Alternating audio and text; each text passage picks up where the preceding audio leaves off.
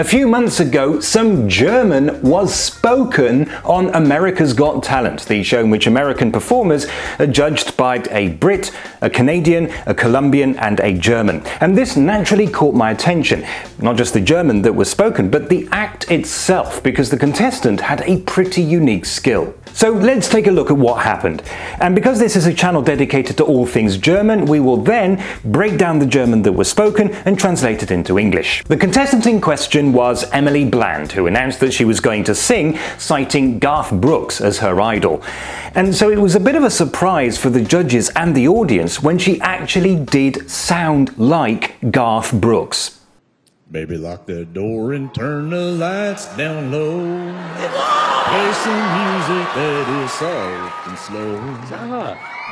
But then she revealed that she was in fact lip syncing to her husband, who was just off stage.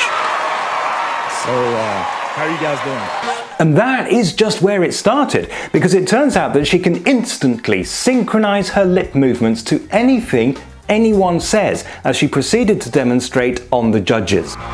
You are so much better looking in real life. How about me? How do me? Okay. I am very confused right now. So when it came to Heidi Klum, she did it in German, a language that Bland claims not to know. Also am allerliebsten liebsten würde ich da sitzen, wo du sitzt und du würdest da sein, wo ich bin, dann wäre das Ganze viel lustiger. Oh my god, that looked good! I have no clue what I just said. Howie Mandel called this improvisational lip sync, noting that she was able to perfectly time her lip movements even though she had no idea what anyone was going to say. My instinct was to assume that this might be a form of echolalia or echopraxia. Echolalia is the urge to repeat what somebody has said, and echopraxia is the urge to copy somebody else's body movements, as explained here by British impressionist Jan Ravens. I've an interesting sort of Greek type word for something that I do sometimes where I can't help the sort of urge to do an impression uh, of somebody.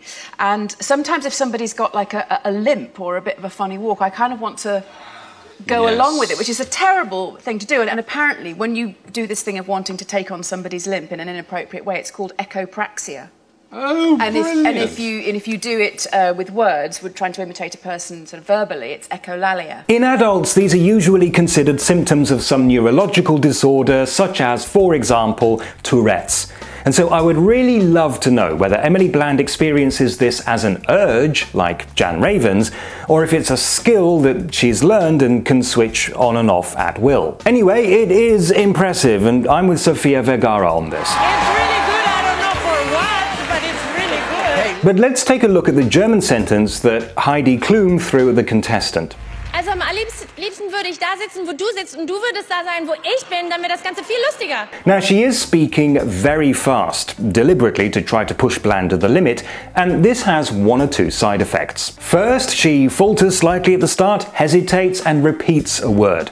Second, if I've correctly understood everything that she says, she actually makes a grammatical mistake. This is quite common in spontaneous speech. Typically, we begin a sentence not knowing how it will end, and we end a sentence forgetting how it began, which is why I always write a script for my videos.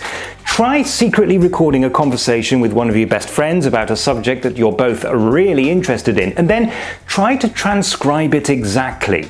You'll probably find that most of your sentences aren't even complete sentences. So, this is what I think she said, and if so, then there is a verb missing at the end. I'm going to guess that this is the word. Now, let's hear it again. Also am liebsten würde ich da sitzen, wo du sitzt und du würdest da sein, wo ich bin, dann wäre das Ganze viel lustiger. So let's break this down and then translate it. The first word, also, is just one of those filler words used to buy time, like the English well.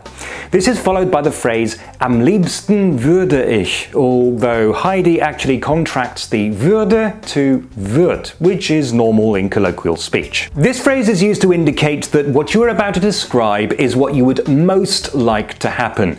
Am liebsten can sometimes be translated as something like preferably.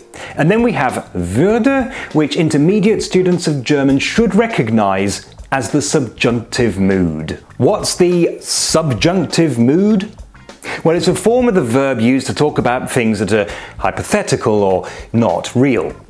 Am liebsten würde ich Wein trinken. I would much rather be drinking wine, but I'm not drinking wine. Mm. Most of the rest is pretty straightforward, or should be if you are at least an intermediate student of German, until we get to the word damit, which can basically be translated as in order that or so that. At least I'm pretty sure that's the word she says, but if so, then her sentence is incomplete. As she says it, it means in order that everything much funnier. So I think we do need an extra verb here, and I'm going to guess wird, which can roughly be translated as becomes. In English, we wouldn't say becomes in this context, but in German it's important to emphasize the fact that we want to transform something that is quite funny into something that is very funny, and using the word wird here actually emphasizes that transformation. So here it is. This is what Heidi Klum said. This is a direct word for word translation, and this is what we would actually say if we were speaking English. Because when we translate, we never do it word for word.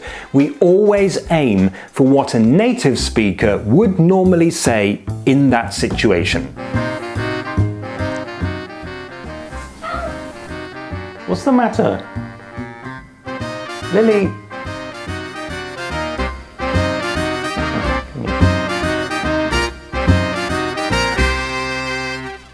Seriously, Lily. Goodbye.